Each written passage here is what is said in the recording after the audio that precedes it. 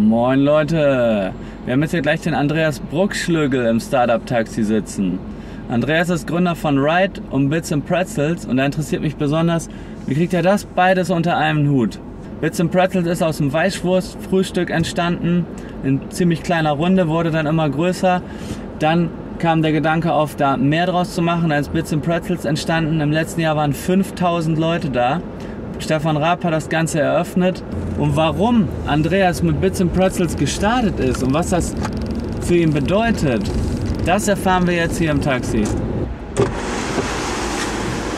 Moin Andreas. Hi, grüß dich. Hast du gerade Moin gesagt?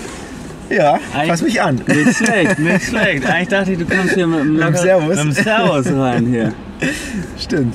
Das ist ja, das ist ja, auch passieren das ist können. uns hier im Norden gleich sympathisch, weißt du?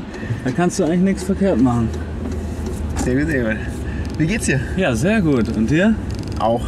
Ich habe dich ja das letzte Mal auf der großen Bühne gesehen. Ach, warst du auf der and Ja, ja, na klar. Sehr cool. Klar. Vorrangig. Du bist ein Franke, ne? Das, das ist ja dieses Bayern und Franken, das, das nehmt ihr schon sehr ernst, oder? Ja, ähm, es ist eigentlich seit, ich glaube, 1990 ist Franken Teil Bayerns, ähm, aber wird bis heute nicht wirklich anerkannt Ah, von, ja, okay. von den Urbayern. Am Ende des Tages glaube ich immer, wenn man einfach die Augen offen hält, mit offenen Augen durchs, durchs Leben läuft und einfach mal schaut, hey, wo, wo gibt es denn Punkte, die mich, die mich persönlich nerven, wo ich viel Arbeit reinstecke, was man vielleicht automatisieren kann, dann entstehen genauso Ideen wie Ride oder später eben dann auch ähm, Bits and Pretzels. In München wird lieber zum zehnten Mal über ein BMW berichtet, Ja. als über ein neues erfolgreiches Startup. Und das hat mich so gefuchst und so geärgert, dass ich dann gesagt habe, okay, Dann ich muss ich irgendwas eigenes. was ändern. Und, und dann haben wir uns zusammengesetzt und gesagt, okay, wie ändern wir das am besten? Und kamen dann auf die Idee von dem ersten Gründer Weißwurstfrühstück im Hofbräuhaus. Also wir haben gesagt, wir, wir brauchen was, was Ja. zitierfähig ist, wo alle mal zusammenkommen, wo sie alle treffen, alle In, zusammen. in diesem großen Hofbräu in der Innenstadt, da Genau. auf vier Ebenen da. Genau, Da genau. habt ihr angefangen. Genau, da haben wir angefangen und der größte Raum war damals für, ähm, für 150, 200 Leute, die wir gebucht haben ähm, und haben mit Mühe und Not 50, 75 Leute zusammenbekommen. Wir haben nicht nur nichts verdient mit Pretzels, sondern auch bis zum letzten Jahr war das, war, war das ganze Event nicht profitabel und das ist auch, auch bis heute ähm, nicht unser, unser Ziel. Also schon natürlich eine, das ganze Event auf eine schwarze Null zu kriegen, Ja. aber wir machen das nicht aus, dem, aus der Energie raus, ähm, damit Geld zu verdienen. Ja, also mir hat letztes Mal richtig gut gefallen. Vor allen Dingen, ich meine, dass ihr Stefan, Stefan Raab gewinnen konntet für die Eröffnung, fand ich ja ein Hammer. Ne? Auch die Story dahinter äh, hat er ja ein bisschen erzählt, wie oft ihr ihn genervt habt. Ich weiß nicht, wie es wirklich war. Genau, also das war ähm, vor allem bei uns im Team ähm, bezüglich Stefan Raab war es der Martin. Ähm, Der Ja, wollte ihn- ihn unbedingt haben, oder? Der ihn genau, ähm, ein großer Fan von ihm, aber nicht nur deswegen, sondern weil er einfach auch ähm, unternehmerisch ähm, wirklich viel geleistet, viel auf die Beine gestellt Ja. hat. Sei es jetzt mit, seinem, Ja. mit seiner Agentur mit Brainpool oder mit dem Duschkopf, den er ja ähm, ähm, erfunden hat, ähm, hat er ja mehrfach bewiesen, dass er wirklich nicht nur ein Showtalent, sondern auch ein Unternehmertalent Absolut, ist. ja. Und deswegen sind wir bei ihm über zwei Jahre dran geblieben und du hast recht, ähm, wir haben ihn so lange genervt, bis er irgendwann gesagt hat, okay, ich muss dahin, damit sie mich endlich in Ruhe lassen. ähm, und genau das ist jetzt der Fall. Äh, Ich lasse ihn jetzt mittlerweile in Ruhe. Also Hartnäckigkeit zahlt sich aus, ne? Am Ende. Das definitiv. Also nicht nur im, ähm, also ist meine persönliche Erfahrung und nicht nur bei, bei Bits and Pretzels, sondern bei allem. Ich finde immer diejenigen, die, die an Dingen dranbleiben, die, die, die Leute remindern, die, die dahinter sind, die, die Ehrgeiz beweisen, aber wichtig trotzdem immer mit einer Sympathie. Ich sage jetzt mal, dieses hartnäckige, plumpe Nerven ähm, führt zu keinem Erfolg, aber wenn du das immer machst mit einem Augenzwinkern oder dass einfach Leute merken, dass du es wirklich ernst meinst, dann kannst du damit definitiv ähm, Berge in, in Bewegung setzen. Auf jeden Fall. Ist ja am Ende des Ja. Tages auch logisch, weil ich meine, so Leute wie Null- Stefan Raab, die bekommen am Tag Dutzende Anfragen. Ja, ja. Ähm, das heißt, man muss da irgendwo aus dieser Menge rausstechen. Zum einen, dass man erstmal initial ein deutlich ansprechenderes Anschreiben formuliert, aber dann eben auch einfach dahinter bleibt. Wann war eigentlich dieser Umbruch von diesem Weißwurstfrühstück Frühstück dann zu, zu dem, was es heute ist? Und wie habt ihr das hingekriegt? Der, der Umbruch war, also wir haben ähm, das Gründer Weißwurstfrühstück viermal veranstaltet und Ach, beim ersten viermal? Mal War das dann einmal pro Jahr oder auch Nee, mehrmals? Ähm, alle zwei Monate. ah, okay. Und und haben dann, also beim allerersten Mal uns super schwer getan, eben Leute zu finden. Die haben wir dann gefunden. Dann hat jeder, der da war, ähm, das in seinem Bekanntenkreis erzählt, weil, weil sie doch alle sehr begeistert waren von dem Format. Ja. Das zweite Mal war dann schon mit 120 Leuten, das dritte Mal mit knapp 200 und beim vierten Mal waren es 400. Und da war, war es dann für uns an einem, an einem Punkt, wo Bern und ich uns dann zusammengesetzt haben und gesagt haben, okay, das nimmt jetzt irgendwie eine, eine, eine, eine ganz gute Form, so, Ja. so, so, so ein bisschen so, ein, ja, so, ja, wir, so eine Form an, wo wir gemerkt haben, wir haben einen Nerv getroffen und lass uns doch jetzt quasi das Ding mal, mal ganz groß denken. Mal, mal weg von dem Namen Gründer Weißwurst Ach, das hieß, das hieß erst Gründer Weißwurstfrühstück. Genau, das war der Name. Und dann einfach einen internationalen Namen finden. Ja. Ähm, da hat uns der Markus sehr dabei geholfen, ähm, also mein Co-Founder von Ride mit Ja. Bits and Pretzels. Ähm, und, und genau, und hatten dann eben als Bits and Pretzels gesagt, okay, lass uns das Ganze auch noch zu einem Zeitpunkt veranstalten, wo die ganze Welt eh nach München kommen will. Und das ist natürlich augenscheinlich Klar. das Oktoberfest Ja, klar. ähm, und, und das zu der Zeit vom Oktoberfest machen. Und das war im, im ersten Jahr, da war das quasi einfach eine Parallelveranstaltung.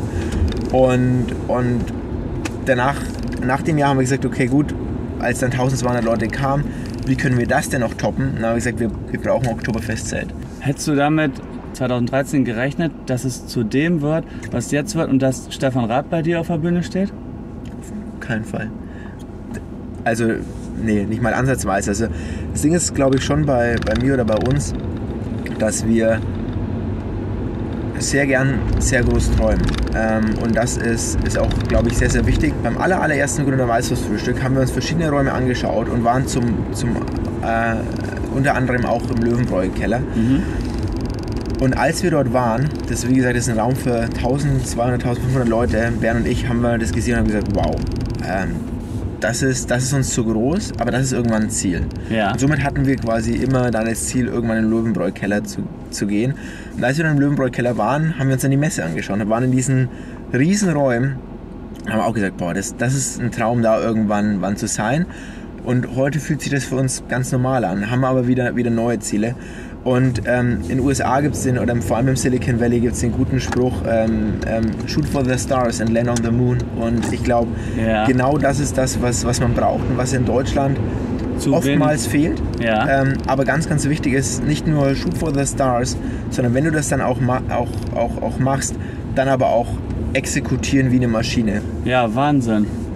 Also ich finde das wirklich bewundernswert, was ihr da auf die Beine gestellt habt, weil ich es ja auch im letzten September erstmalig auch selber erlebt habe. Ja. Schon in der U-Bahn waren Leute, die ja mit mir zu euch gefahren sind, die hatten dann ihre Badges um am zweiten Tag dann. Und dann ist, bin ich gleich mit denen ins Gespräch gekommen und alle waren irgendwie so, ja, wir fahren jetzt zu Bits and Pretzels und da war in der U-Bahn schon direkt richtig gute Stimmung.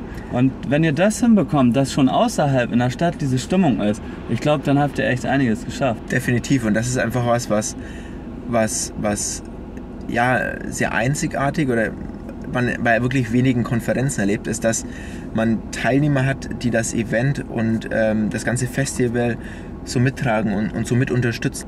Wie gesagt, bei den Online-Marketing Rockstars als auch bei uns merkt man einfach, ähm, dass das ein Herz, Herzblut-Projekt ist und dass es dann nicht darum geht, ähm, in erster Linie Profit zu machen, sondern dass es darum geht, was zu bewegen und ein Event zu bauen und das ist ähm, vor allem immer unser Anspruch, wo wir selber gerne hingehen würden. Also wir stellen uns immer die Frage, was würden wir denn gerne erleben? Was hätten denn wir gerne? Und, und ab und an kommen dann auch immer wieder mal die Spielkinder in uns äh, durch.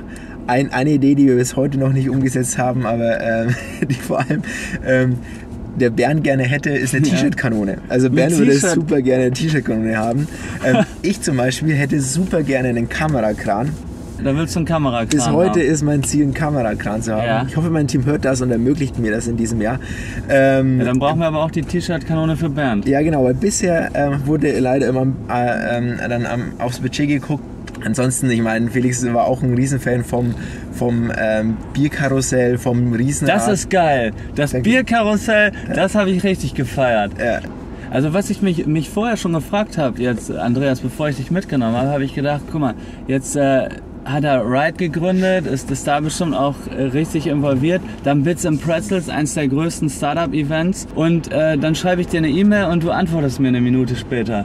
Das hat mich beeindruckt. Wie kriegst, du, wie kriegst du sowas hin? Erstmal Ich glaube, diese da, da beiden gibt es Sachen. eine Antwort ähm, und das ist ähm, ein sensationelles Team zu haben. Aber am Ende des Tages ist es dann auch so, dass wir alle das, was wir tun, auch wirklich, jetzt schon ähm, haben wir gesagt, leben, da einfach Herzblut haben und deswegen auch, auch Lust haben am, am, am Wochenende, wann auch immer zu... Ähm, zu Unzeiten den Laptop aufzumachen, auf dem Handy zu schauen, hey, was, was, ähm, was passiert gerade, wo schreibt mir gerade jemand und dann einfach auch schnell zu antworten. Und das ist einfach auch was, was ich in meiner Arbeit bei Bits and Pretzels auch erlebe, dass es auch bei anderen ist. Ein ähm, Reed Hastings, ähm, CEO von Netflix, den habe ich am Sonntagmorgen angeschrieben, ähm, vor zwei Jahren. Der hat innerhalb von zehn Minuten selber direkt geantwortet. Am und, Sonntag. Und, und das ist einfach was, was ich ähm, in sehr, sehr vielen Situationen, bei sehr, sehr vielen ähm, Leuten erlebe, die äh, sehr erfolgreich sind, dass sie einfach unfassbar schnell auf Dinge antworten und sofort versuchen, Dinge anzustoßen oder dann auch Leute aus dem Team mit, mit dazu zu nehmen, um es dann eventuell ähm, ins Team zu verteilen. Ähm, egal wie, aber es, es passiert einfach eine schnelle Reaktion und das ist, glaube ich, sehr, sehr wichtig, weil das ist auch ein sehr, sehr gutes Beispiel. Wir haben nämlich mit, mit den Rockstars, mit Philipp, ähm, einen Deal, dass wir uns ähm, jedes Jahr gegenseitig helfen Aha. und ähm, das sieht so aus, dass quasi unser Team von Bits and Pretzels jetzt, ähm, ich glaube am Sonntag oder Montag nach Hamburg gefahren ist und ähm, direkt mit anpackt. Und wir Ach, im letzten mit Jahr, anpacken. genau, und wir im letzten Jahr auch drei Leute von den Rockstars bei uns hatten, die uns die letzte Woche geholfen haben. Das ist cool. Ja. Das heißt, ja, ihr seht euch richtig auch als Team. Ihr seht euch jetzt gar nicht als Mitbewerber, sondern das ist eine Gemeinschaft. Ihr sagt, Genau. lasst uns gemeinsam sowas in Deutschland groß machen. Exakt, also Cool, als ich cool. Wettbewerber überhaupt nicht, sondern wie du sagst, eher als gemeinsames Team. Ich stehe auch regelmäßig ähm, in Kontakt mit, mit Philipp, äh, wie wir uns gegenseitig noch besser helfen können, wie wir voneinander lernen können, weil genau wie du sagst, genau darum geht es, ähm, in Deutschland was zu bewegen. Wir sind weit weg von, von einem Punkt, wo wir sagen, es gibt genügend, ähm, sondern es sollte noch so viel mehr entstehen. Ähm, und deswegen auch an alle, die, die vielleicht zuhören und, und Ideen haben an Eventformaten, macht das. Unbedingt, sehr, sehr wichtig. Ja, das finde ich cool, ey. Ja, ich weiß nicht, äh, inwieweit du nachgeschaut hast, aber wir organisieren ja in Bremen auch ein Startup-Event, was Echt? immer größer wird. Okay, hatte ich jetzt auch gar nicht auf dem Nee, Schirm. ist ja auch noch in so einer Größe, wo du es noch nicht auf dem Schirm hast.